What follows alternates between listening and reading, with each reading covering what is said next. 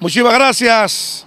Los puertoplateños piden la pronta solución al problema del vertedero que está causando daños a la visibilidad de los conductores, así como también a los turistas que se hospedan en los hoteles Rius ubicados en Maimón.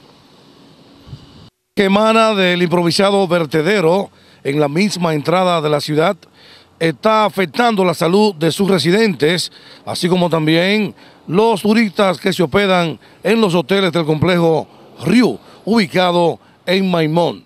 De los hoteles de Cofresí de Maimón han tenido que sacar turistas con problemas respiratorios.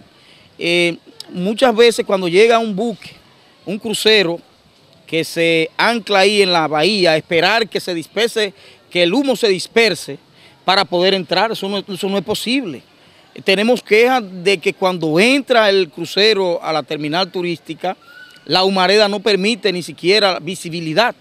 Entonces, vamos a buscar ya definitivamente, señor presidente, usted que, que es una persona bien intencionada, que ha demostrado que quiere eh, verdaderamente el desarrollo para nuestra costa del Cibao, la zona de Puerto Plata, por favor, señor presidente, licenciado Danilo Medina, que iniciando este periodo, este nuevo periodo gubernamental de, cuatro años, usted asuma la responsabilidad de trasladar este vertedero y construir un relleno sanitario que termine con esta problemática definitivamente. El ayuntamiento del municipio de San Felipe de Puerto Plata está solicitando la ayuda del gobierno para la construcción de un relleno sanitario, única solución al problema.